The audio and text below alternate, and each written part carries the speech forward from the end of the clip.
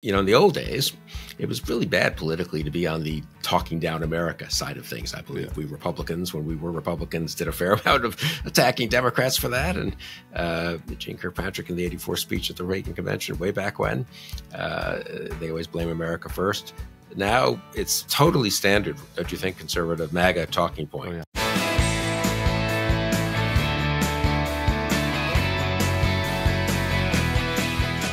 Hello and welcome to the Bulwark Podcast. I'm your host, Tim Miller. We have 217 days to the 2024 election. It's Monday. I'm back with Bill Kristol. Bill, how you doing? Fine, Tim. How are you? I'm doing quite well, and I am excited. We, we have to start with the most important news of the day, which isn't about politics. We have I, I, what I expect will be the most watched women's college basketball game in history tonight, a rematch of last year's national championship, Caitlin Clark's Iowa Hawkeyes against the LSU Tigers, who were demeaned as dirty debutantes in the LA Times, who were assaulted by a profile writer who, who didn't understand Kim Mulkey's resilience in the Washington Post. I like you, Kent Babb. That's just a joke. And uh, you know they've been they've we, we've been you know kind of turned this into a you know goodness versus darkness. You know the in the evil empire, the LSU Tigers defending their title. Should be a marvelous basketball game tonight. How, how are you excited? Uh, I'm not really, but I'm at the, the bulwark. Many people in the bulwark are. The bulwark is divided, a house divided against itself. Mm-hmm. Uh, you and your family there rooting for the Tigers and Andrew Egger and his family. I think his wife went to Iowa. Uh, very much. Uh, he told me he was dressing the little, the toddlers uh, and the infant up in Hawkeye's gear. So it's interesting be, how we you, fit. You, you guys can you guys can hash it out tomorrow for five. I think maybe a special three or four hour probably. A special podcast, three or four hour yeah. Uh, breakdown of the Elite Eight match tonight. Probably uh, it's at seven in the East. If you're looking for uh, when to tune in, I will say it's interesting how the you know kind of the narrative and the the the uh, stereotypes of the teams are reflected in the Bulwark House Divided. You know, people say the Iowa team is like milk and cookies, you know, America's girls. That's kind of Andrew Egger. You know, the LSU team was slandered as dirty debutantes. I think I fit that role pretty nicely. So it, it is nice that even internally we're, we're living to type. So uh, we're pulling for Angel Reese and Flau'jae Johnson tonight, and, and I hope everybody enjoys that basketball. Take a break from politics. Enjoy that basketball game totally. here on Monday night. I, I, think it's wonderful for the for the sport, and uh, I'm excited. I got I'll have my little girl out in LSU gear tonight. I'm not going to tell you guys what bar I'm going to be at because you know I, I, we don't we don't need mobs of mobs of fans coming to to bother us in the in the middle of this important match. But I just I watched I watched Duke last night out of loyalty to our daughter who and son-in-law who went there, and I'm like the only person outside of Durham who actually roots for Duke out of that family loyalty. But anyway, it was they, tough. It was after tough after getting there as a four seed and having a kind of clear path, right? They have four seed playing at eleven. How that doesn't happen that often. They probably lost to North Carolina State. tough loss. I also like that Jared McCain on Duke who, who, paints his nails. He's got a good TikTok feed. I know we're not supposed to be on TikTok, but if you are secretly on TikTok, you should check out Jared McCain's TikTok. Okay, let's get to business well, this isn't really business. Actually, we're going to slowly get into real business. You know, we'll, we'll, we'll go, we'll, we'll, begin with sports, and then we'll go to the the politics, the the the WWE element of politics, and we'll get into actual policy. Um, there was a kerfuffle over the weekend about about Easter and about which uh, you know which candidate for president is is more faithful, more reverent, takes Easter more seriously. Um, seems like it'd be an easy call between the weekly church-going Catholic and the uh, you know guy who's cheated on all his wives and likes to play golf on Sundays, but but not on, not in conservative media. In conservative media, they were trying to spin it the other way and say that it was Joe Biden who was sacrilegious uh, because the White House put out a statement acknowledging the tra- tra- the Transgender Day of Visibility, which has been on March 31st. They put out a statement every March 31st. It's just Easter changes. I know the the heathen the heathen Christians might not really realize that the you know the Eastern Catholic Christians don't, don't really Catholics don't really realize that the Easter does change days. So uh, it, they did not turn Easter into Transgender Day of Visibility. It just happened to land on Easter this year. Also, there was another controversy. Um, uh, the White House Easter egg roll uh, they said they can't put any religious iconography. The children cannot draw any religious iconography on the eggs. Now, I, this does seem stupid to me. I concur that that seems very stupid. But here's the thing: it's that's been the rule for 45 years since 1976, including all the Easter egg rolls that Donald Trump was in there. Um, and so, You know, uh, this none of the facts though got in the way of you know basically a full outreach cycle. Governors, Governor of Mississippi Tate Reeves, Fox News. This was wall to wall on Fox News, tan suit level coverage of of these outrages on Fox News. Um, how, how do you assess this bill, and uh, and how and how do you even deal with nonsense like this?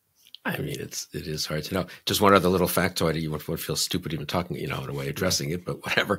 I mean, Joe Biden put out as this on Easter or for Easter this year, as he has, I gather, the last past couple years, quite a religious statement about the meaning of Easter. I mean, he is a serious Catholic, and he talks about the resurrection and Jesus' sacrifice, which he's entitled to do certainly, and did. So the idea that Joe Biden, uh, that Donald Trump takes the meaning of Easter more seriously than Joe Biden is obviously on its face ludicrous.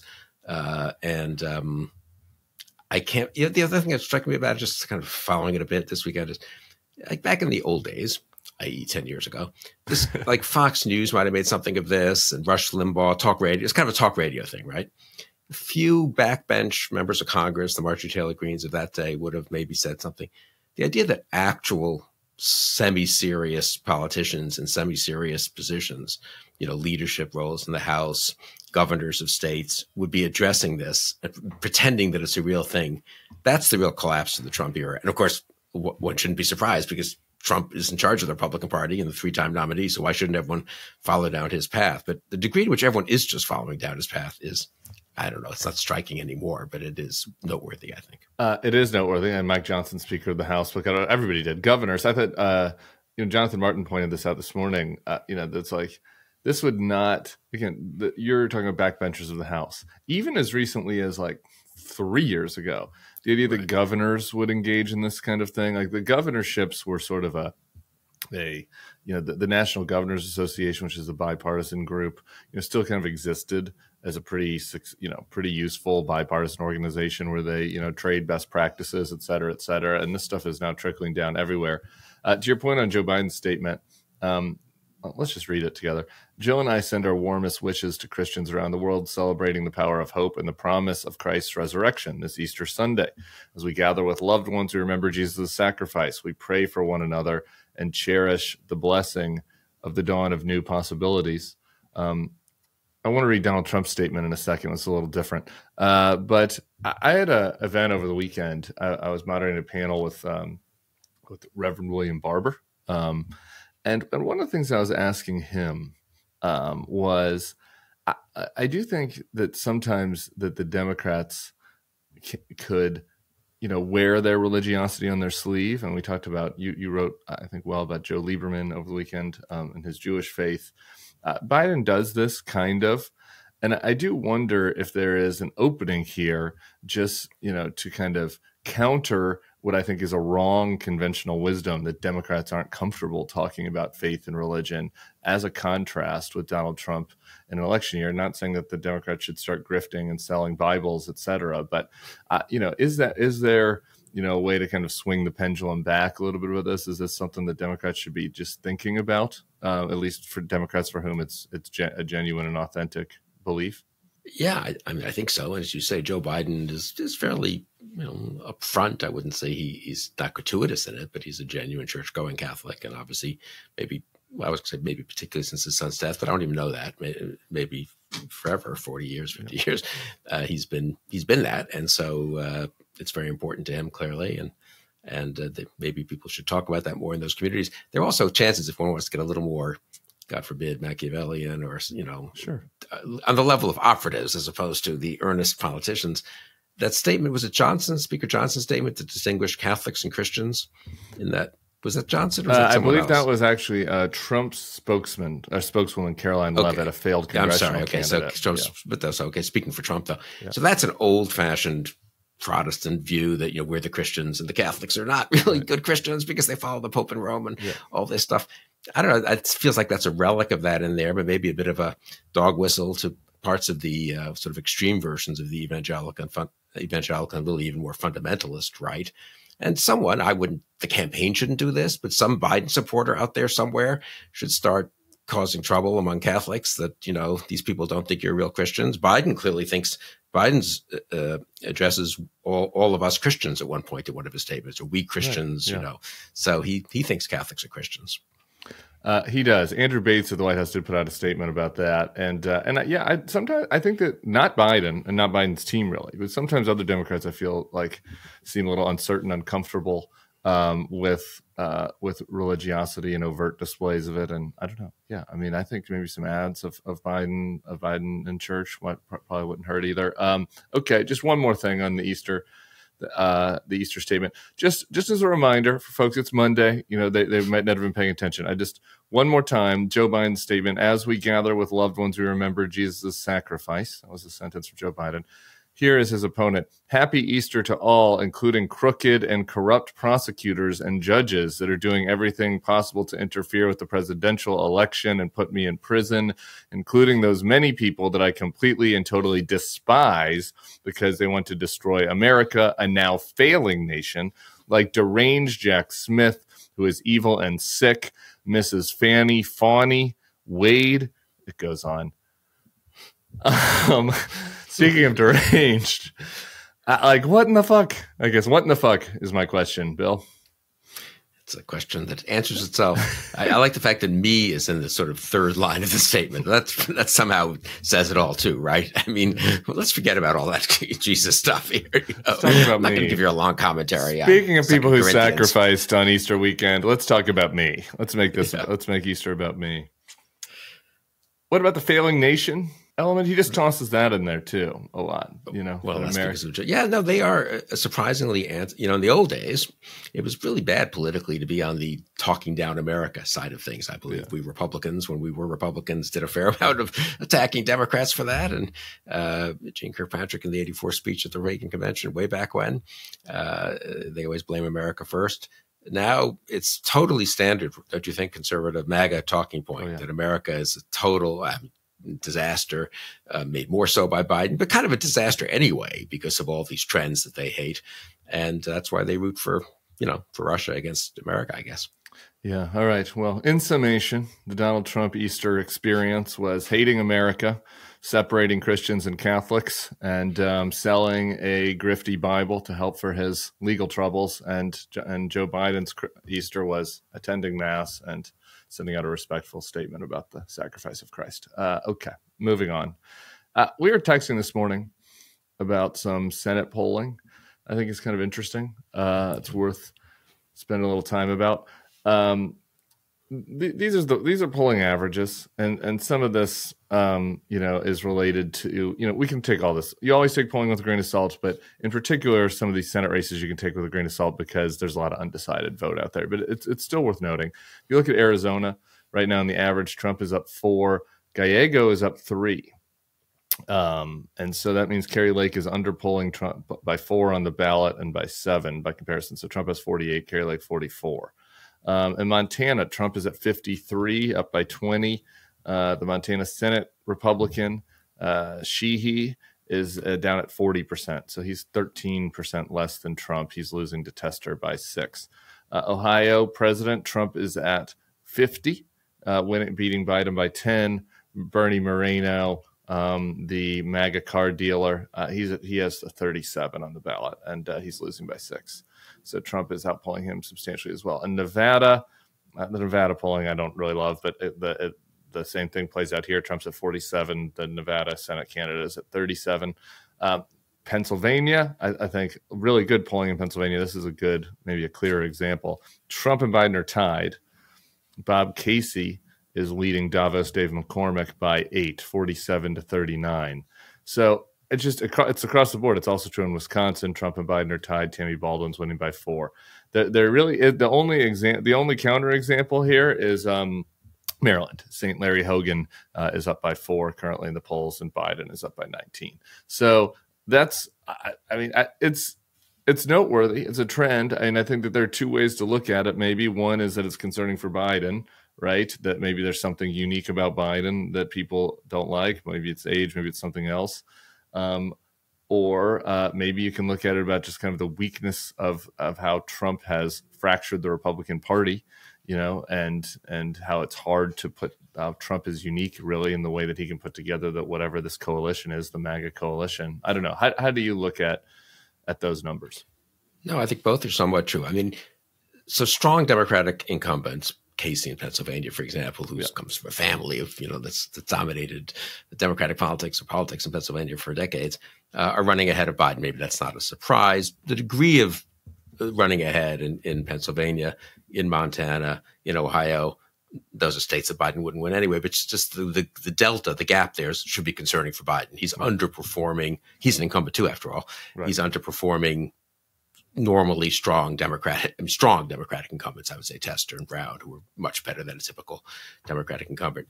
I think Arizona is particularly interesting because they and and the other thing I would say is the Republicans aren't well known in some of those states, so you could argue once their name sure. ID gets up, they'll get closer to Trump's number. Arizona, Kari Lake does have 100% name ID. Everybody knows Kari She Lake. lost by a very small margin in 2022. Trump won Arizona by a very small margin in 2020. So it's somewhat apples to apples in that case, I would say. Yep. And you began with Arizona. The fact that that Trump is that Kari Lake, let's see, four. If I'm right, yeah. So let's just I'll just say these again, so then you can kind of dig in yeah. on Arizona. So Gallego's at 47, Kari Lake 44. So that is Gallego, the Democrat, plus three, and then the same average. Trump is at 48. Biden is at 44. Trump is plus four. So so so it's a plus four Trump to minus three Lake, 48 for Trump, 44 for Lake. So think of it this way: four percent of Trump's 48 percent are deserting when they get to the Senate level and going over to Gallego, yeah. which is about one in 10, almost one in 11 or 12 Trump voters yeah. aren't sticking to, to vote for Kari Lake, right. which is a pretty big number, actually, in a, in a very polarized and partisan in the polarized and partisan world we live in. And it does, and Lake and Lake is a Trump favorite, so I mean, it's not like there's a gap between the two particularly, yeah, sure. and and and uh, so I think it shows that some of that Trump, uh, it's sort of heartening in a way. Some of that Trump support, some not a huge amount, but ten percent, is really Trump specific, and which if one if Trump ever leaves the scene, does suggest that it might not be that hard to transfer to the next generation of Trumpists. And we've seen a little of that, of course, in 2022 uh, in the go- governor's races there, uh, in, in, states and Senate races in states like Pennsylvania and, and elsewhere. Um, and also, we've seen it uh, in the primaries where DeSantis and Ramaswamy tried to beat Trump. And so Trump has something. Trump is a very effective demagogue. One thing it tells me, though, and this would be, I think, cautionary for the Biden campaign. I was talking with someone about this very senior Democrat over the weekend who, uh, unlike most of them, actually agreed with me on this. Trump is a very good candidate. I mean, I mean, he's terrible in so many ways, and he's oh, yeah. ridiculous. And if he were more disciplined, he might be even better. But Trump is outperforming what a Republican with Trump's views should be getting. You know, he's even maybe outperforming what, what normie Republicans should be getting, right? It's not like normie Republicans were doing great in 2012 or 2008 and so forth. So, I mean, I think it's a, it's a, it's just a cautionary lesson against, against, uh, uh, uh you know, under uh, against judging, against dismissing Trump, or thinking that the craziness will certainly catch up with him, or or January 6th will catch up with him, and God knows it all should catch up with him. But people know all of that, and there's Trump in the numbers you read, basically ahead in the, in in Arizona and even in Pennsylvania. Yeah. So the encouraging thing for me, looking at those numbers, I with I concurring with all of your all of the Biden concerns. So, you know, you can over overanalyze this sort of stuff, but but just broadly speaking, uh, to me, it looks like what we saw in 2016 and 2020 was a lot of the normie-ish Republican voters. Not we're not talking about elites now um, you know, there was still this delay and kind of moving over to debt, right? Like the anti-Trump, never Trumpers are people, the actual voters. What you saw a lot of times was they were voting for, say, Gary Johnson, you know, in in the presidential race or third party or something, and then still voting for the Republican for Senate, right? Because across the board, Republicans were outperforming Trump, at least in the competitive states in 2016 and, and in 2020. So was, you, you, were you were seeing this where people were like, yeah, they're leaving the party. But then, you know, in the midterms, you're seeing signs that a lot of these people are like, okay, this whole party is MAGA now, you know, and so this realignment. To me, I look at this and say a lot of the realignment is happening, right? Like the peop, the types of people that that don't like Donald Trump are now saying I'm voting for Ruben Gallego. You know, I think that there you can just look at the Senate number and say it's pretty clear there's a decent number of Ducey McCain Flake voters. Uh, you know, that's the only way that Ruben, Ruben Gallego could be up by three against Kari. Like they've already, you know, now they're not just never Trump, but they are never Trumpist. They're never MAGA. You know, maybe they'll vote for Larry Hogan in Maryland. So I, I think that's encouraging. So that means then who is the problem? Like, why is Trump doing better then? And and to me, it seems very obvious that it's low propensity, low info voters. Uh, working class voters, people that used to be Democrats, maybe younger voters, maybe you know types that don't vote in midterms, types that don't vote in in um, special elections, and and there's something about the Trump kind of brand. It's like this cultural signifier, Trump brand slash maybe inflation's part of it slash whatever uh, slash what Biden's age. Like it's these types of voters that are that are helping Trump in the polls. Like are those is Trump going to actually be able to turn those people out? Are those people still going to be? You know, these are the softest type of voters to have, right? And and I think that it's pretty obvious that that is the group that is booing Trump right now. If you look at any you know, if you look at the crosstabs of any of these polls. And so uh, that's, I think that's concerning for Democrats if that's a permanent shift, right? If if it is like those low low propensity working class black voters, uh, you know, Hispanic voters, younger voters do kind of say, okay, I'm I'm into MAGA now. Like like they need to tend to that crop. But um, but I, I think that is driving the gap to me. Those voters are driving the gap. No, I totally agree, and I think I mean the, the, good news is they're a little less they're less likely to vote. They might be just kind of indulging a kind of whim. They don't like Biden much. He's 81 years old and stuff, but they'll come back home, as people say, in in September, October. The bad news is, so far at least, they're open to voting for Trump. I don't know what new information they're going to get about Trump right. that could scare them away. There, there could be some. I mean, I, I, was talking to someone about this over the weekend, actually. I mean, he's doing pretty well among younger black voters. Are they really aware of what a racist Trump and his support is and, and how much his, his supporters is. are just playing the race card flat out? And I got to think for even black voters who don't like Biden much and they have some economic stuff in common with Trump and inflation and all. I, I so I, but I do think it, re- it requires work. I mean, it, yes. the idea, and I, this worries me a little about the Biden campaign. They do sort of seem to me have a, and this is very, very true of sort of liberals on Twitter, uh, you know, commentators that so they just dis- discount those numbers. They're not going to stick. I mean, can you believe Trump's within six among Hispanics? That could never stand up. Uh, well, a it may not stand up in future races, as you were saying, and or down ballot, but could it stand up for Trump in 2024? I don't know. The Trump campaign's not stupid. I mean, they're going to be spending a lot of time messaging those voters. Yeah, for sure. And they think that's their possible margin of victory. They're looking at the exact same polls you just we're looking at, right? And they're they're having the same thought process in reverse. So I think it really does require work by Biden, by the yeah, Biden concur. Campaign. Okay, one more example of this type of voter. People sometimes like these guys don't exist. You know, the the people that still need to be persuaded don't really exist. Well, they do uh, exist, and some of them are even in Trump's cabinet. Uh, former Trump Defense Secretary Mark Esper uh, said uh, late last week, "There's no way I'll vote for Trump." But every day that Trump does something crazy, the door to voting for Biden opens a little bit more and that's where I'm at. Uh, there is a shocking number of people for whom this is true. I just do. I just like.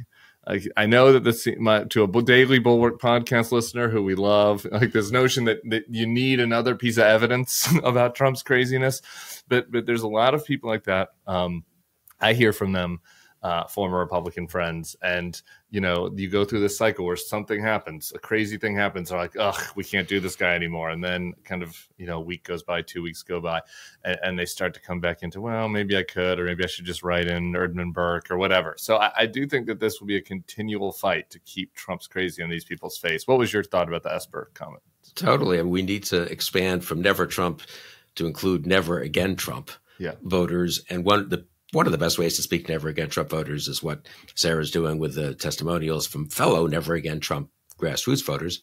Another way is by remind, telling all these never people who have a never again Trump inclination post January 6th, such as post, you know, looking at the chaos or post supporting Nikki Haley or whatever, that, you know what, a lot of respectable people whom you sort of admire are never again Trump. Mike Pence, Mark Esper, Chris Christie, they all supported Trump in 2020. They were like, but not supported, they were part of the administration. Um, so, you know, it, it's okay for you to not, to not vote for the person you voted for twice. You've been through this. I mean, it's hard in politics. The best thing in politics to have is to have won the same race before, right? Because voters don't like to change their mind much. They don't like to acknowledge they were wrong. Right. And so if they voted for this person before, they're going to vote for this person again. That's why incumbent, one reason incumbents win so, you know, such a massive percentage of the time. Trump in this weird way is an incumbent, kind of. He's been on the ballot twice in a row. And so never again Trump is a very important, maybe the most important way to pry away some Trump voters, some 2016 and 2020 Trump voters, uh, to to give margin to give Biden the margin he probably needs, because he's got to be losing some 2020 Biden voters. If you're just an incumbent for four years, people do get annoyed at you in a way they're not when you're a challenger. So he needs those never again Trump voters. Indeed, indeed. Okay, finally, let's move over to uh, the news out of Russia. Um, Kharkiv was under Russian missile attack over the uh, over the holiday weekend. Um, the Congress is now finally coming back after uh, a lengthy spring break. Uh, and uh, Mike Johnson indicated Sunday night that uh, he will likely bring the Ukraine, Ukraine bill to the floor, but will include some innovations. Um, among the quote innovations are that some of the money is, turns into be a loan, um, that he wants to seize some Russian assets and give that to Ukraine instead of American money. Like, okay, whatever. He wants to tie it to natural gas exports. Like, once you start getting into the details, that worries me about timing again. But great, Let, let's do more natural gas exports on board on board with that. Chip Roy. Um, uh, when he was asked about all this, said that uh, Johnson's survival does not begin with bringing a clean Ukraine aid bill to the floor. Uh, on the other side, Don Bacon says he has a commitment to get a vote. This guy seems way over his head. Uh, but I mean, the the news out of Ukraine, you know, shows the urgency once again. Yeah, totally. And I've got to say, most of the things he's talking about putting in there, I'd prefer a clean vote on the Senate bill just for the obvious sure. reason that Biden could sign it the next day and we could get the aid going. And it doesn't create all the possible complications that adding stuff does. Most of the actual things he's adding are kind of reasonable, I've got to say, at least the ones he's mentioned so far, including the, the loan. Yes. Well, the loan's kind of silly, but we'll forgive the loan probably, sort of like yeah. lend lease, you know. And um, and these the seizing of the assets is is not trivial, and that I'm for that. And, and Biden could do it on his own, but it's probably better to have congressional cover. So, but look, I'm, I wish it were the clean thing. I mean, I got a Congress comes back, the House comes back in a week, and I very much am in a trust but verify mode on this. And very important to say to Johnson, look, if you can get this through and pre-negotiate this in a sense with Schumer and get it to the Senate and Biden can sign it in four days, that's okay. But if not, you got to have that discharge petition in reserve. And I think people like Don Bacon have to be willing to say, okay, you got a week to work this out, but otherwise we're going with a clean, uh, one of the two clean bills that uh, other bills that are out there. That's also another complication. But one way or the other, we have to get it done in the next two or three weeks. The good news here uh, is that the, once again, the Democrats are a responsible governing party. Maybe it's bad news. Actually, the Democrats don't get credit for this. But like right. the good news as far as getting the policy done is that Mike Johnson could put in like pretty much anything and it would still get signed, right? I mean, like he could include a provision that's like, we're going to repeal the transgender day of visibility as part of this money. Don't give him ideas. Of course, he'll put this in, and then the Democratic base will go crazy, yeah. and then Biden will be but, pressured. But I mean, like literally, it's just like he's throwing stuff out there. He's throwing chum in. Like, what can I throw? What chum can I throw in the water? It's the same thing as the immigration bill, and the Democrats are like, fine, whatever. And and you know, just given the Democratic Party's reputation and what we had come right. up with, like the notion that they're like yes, we will be the ones that, no matter how irresponsible you are, will be the ones that supports our ally with military aid, and will go along with your stupid games. Like, like that's noteworthy and deserves to be mentioned, and is and is a big reason why this could actually happen, right? Because otherwise, you get into a cluster, you know, where where you're negotiating back and forth and nothing ever happens the Democrats could mention this a little more. They've already done this. They passed the border bill. I mean, the right. border plus Ukraine bill in the yeah. Senate with, I think, two Democrats deserting or something like that. I mean, they provided the majority, we're not a majority of Republicans for all these border provisions they claim to be for. So, I mean, they've already swallowed hard and passed stuff they didn't like. It's not even a theoretical question, right? And so it's funny how little they talk about that. Does anyone in America know that they actually passed tougher border protections than, than than people were talking about a few months ago, including even tougher than tough, pretty tough by Republican standards. Yeah, I feel anyway, like we've Democrats seen a little bit more, talk like, more about that. Yeah, they did a good job to State of the Union, and and I do see this from Democratic senators a little bit more. But yeah, no, more is more is more, more is more on this front. Um, Uh, more is more will be true tonight, also from Angel Reese on the on the backboards and in the hoop. And uh, I look forward to that, Bill. I hope you enjoy the, the game tonight, and we will see you back here next Monday.